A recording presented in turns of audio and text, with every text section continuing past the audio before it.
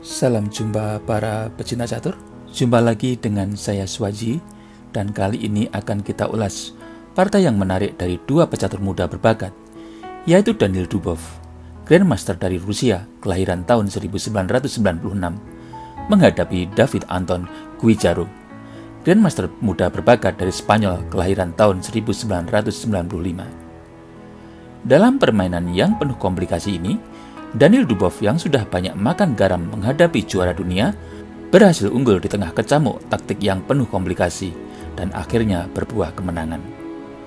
Mari langsung kita saksikan permainan yang terjadi pada turnamen catur online Airthings Master tanggal 26 Desember 2020 ini. Daniel Dubov mengawali permainan dengan pion D4 dan David Anton Guijaro menjawab kuda F6 dan permainan berlanjut dengan pion C4, pion E6, kuda F3, pion D5, pion G3, pion pukul pion C4, dan setelah gajah G2, terbentuklah pembukaan Katalan terbuka.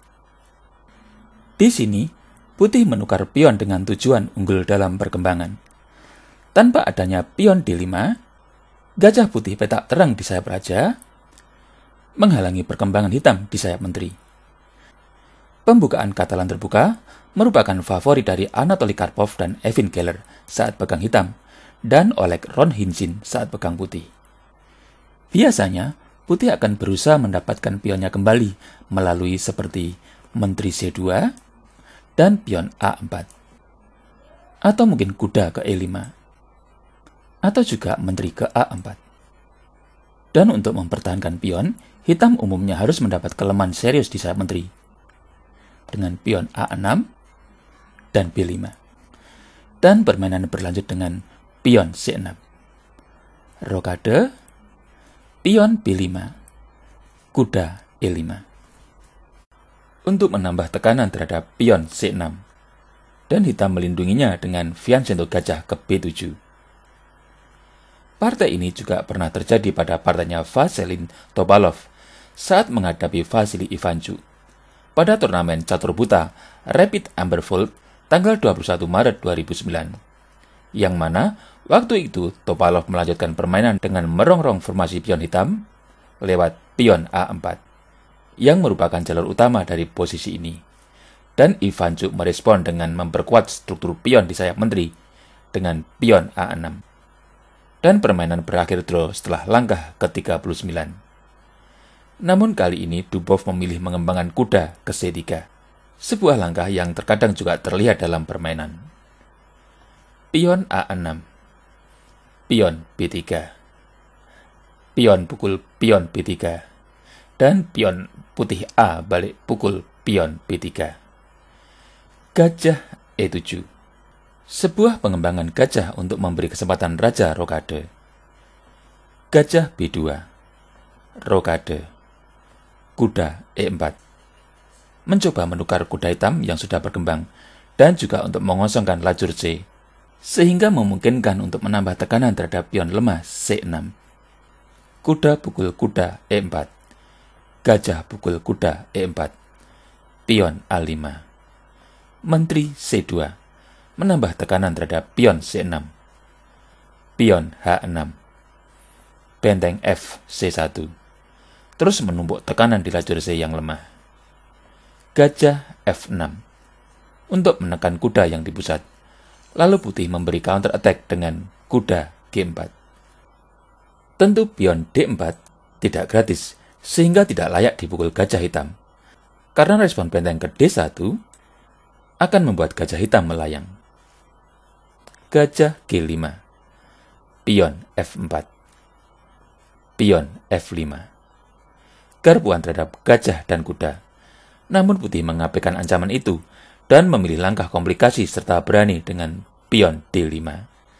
Setelah pion F pukul pion E4, Dubov tidak tertarik memenangkan kembali perwiranya lewat pion pukul gajah, namun memilih pion pukul pion E6 untuk menciptakan pion bebas dan memberi tekanan di sayap raja. Walau harus kehilangan gajahnya, dengan adanya pion bebas E6 yang bagai duri dalam tenggorokan, tentu merupakan kompensasi yang layak dengan adanya kuda yang sudah di garda depan dan gajah yang memantau diagonal panjang petak gelap yang lemah. Gajah F6 Kuda pukul gajah F6 skak. Pion pukul kuda F6. Menteri pukul pion E4. Menteri E7. Setelah pion F5, kita lihat putih punya pion bebas E6 yang kuat karena sudah agak mendekati petak promosi dan mendapat perlindungan pion F5. Kuda A6 Benteng pukul pion A5 Pada posisi ini, dengan adanya pion H6 yang lemah, Raja ke H7 untuk melindungi pion H6 dan menghindar dari lajur G yang terbuka patut dipertimbangkan. Namun hitam melangkah pion H5 dengan maksud mencegah menteri ke G4. Tapi di sisi lain membuat pion H5 ini lebih lemah dan menjadi target serangan putih untuk memperlemah lajur H. Menteri F3 untuk menekan pion lemah H5, lalu hitam berusaha melindunginya dengan Menteri H7. Benteng D1 untuk mengontrol lajur D yang terbuka utamanya petak D7. Lalu hitam berusaha mencegah dengan benteng A D8. Dan tidak ingin kehilangan kontrolnya terhadap lajur D yang penting, putih melangkah benteng A A1. Pada posisi ini, counter attack dengan pion hitam ke C5 untuk memberi kesempatan gajah menekan menteri F3 cukup logis. Namun hitam memilih menteri H6 untuk memantau diagonal C1, H6, serta menjaga pion lemah F6. Dengan adanya tekanan gajah terhadap pion F6 dan benteng tekan benteng D8. Raja F2 untuk menjaga peta E6. Benteng D5. Benteng pukul benteng D5. Pion pukul benteng D5. Dengan adanya pion bebas E6 yang kuat, serta adanya tekanan terhadap diagonal panjang petak gelap, kalau ini dipegang Mikhail Tal, mungkin akan memilih benteng pukul kuda A6. Dan berikutnya mempertimbangkan menteri pukul pion D5 untuk memanfaatkan diagonal D5 G8 yang punya potensi taktik temuan dengan melangkahkan pion ke E7. Namun ini catur cepat, tidak mudah menemukan langkah-langkah yang akurat dalam posisi terbuka dan komplikasi dan dalam permainan aslinya, putih memilih benteng A5, yang sebenarnya memberi kesempatan kuda untuk bermanuver ke C5, untuk menyamakan kedudukan. Coba kita lihat sejenak bila kuda ke C5. Bila putih merespon dengan benteng pukul pion B5, maka pion D4 memberi kesempatan gajah menekan menteri F3. Setelah benteng pukul gajah B7, menteri E3 skak untuk menghilangkan Menteri Putih dengan tempo skak. Sehingga kuda hitam bisa memukul benteng D7 dengan nyaman. Dan bila Menteri pukul Menteri E3, pion pukul balik Menteri E3 skak. Setelah Raja pukul pion E3, kuda pukul benteng B7. Terlihat pertarungan masih seru. Kembali, namun dalam permainan aslinya, hitam melangkah. Pion D4 mengorbankan gajah B7 agar bisa mendapatkan peta E3. Namun putih tidak keberatan dengan peta E3 yang lemah, maka memukul gajah B7 yang punya posisi strategis namun gratis. Dan permainan berlanjut dengan Menteri E3 skak. Raja F1 Pion D3 Menteri F3 untuk menetralkan serangan Menteri Hitam. Menteri D2 Benteng pukul kuda A6 Menteri pukul gajah B2, Menteri pukul pion D3, benteng C8. Hingga posisi ini, putih sudah unggul dan memegang kendali permainan dengan adanya unggul materi 3 pion dan posisi yang netral. Bahkan pion E6 dan F5 malah menjadi ancaman yang berbahaya bagi Tam. Lalu putih melanjutkan permainan dengan pion E7 selayaknya sebuah duri ikan dalam tenggorokan yang menurut komen dari para subscriber Katanya berubah menjadi biji kedondong dalam tenggorokan, dan hitam berusaha menanganinya dengan benteng E8. Benteng E6 untuk melindungi pion E7 dan E2. Raja F7 Menteri F3 mengincar petak lemah H5. Lalu hitam berusaha melindunginya dengan Menteri C1 skak. Setelah Raja G2, kemudian Menteri H6 untuk menjaga pion lemah H5. Menteri D5 secara tidak langsung memberi ancaman terhadap Raja Hitam di F7. Lalu Hitam mengamankan rajanya ke G7. Menteri pukul pion B5. Raja kembali ke F7. Menteri C4. Kembali memberi ancaman terhadap Raja Hitam secara tidak langsung. Benteng pukul pion E7.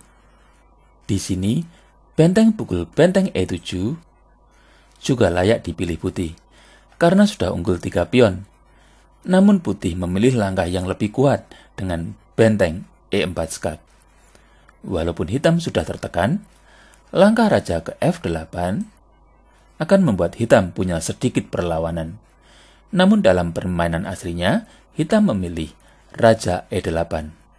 Sebuah langkah yang lemah dan setelah Menteri G8 skak, Raja D7, Benteng D4 skak, hitam menyerah. Bagi yang ingin analisa lanjutan bisa tetap di sini. Bila hitam melanjutkan dengan Raja C7, maka putih bisa merespon dengan Menteri D8 skak. Raja C6, Benteng D6 skak. Raja ke B5 atau C5 akan kena skakmat dengan menteri ke B6. Dan bila raja ke B7, maka benteng B6 skak. Raja A7, menteri B8 skak. Kembali, bila raja ke C6, maka menteri C8 skak. Benteng C7, menteri A6 skak. Raja C5, benteng C4 skak Raja D5, Menteri E6 skakmat. Sebuah taktik yang indah di tengah pertarungan yang penuh komplikasi. Demikianlah para pecinta catur. Manuver cantik dari pecatur muda berbakat Daniel Dubov saat menghadapi David Anton Guijaru pada turnamen online Erting Masters tanggal 26 Desember 2020. Seperti biasa, saya berharap video ini bisa bermanfaat bagi para pecinta catur semuanya dan kita akan bertemu lagi dalam video ulasan catur selanjutnya. Sampai jumpa.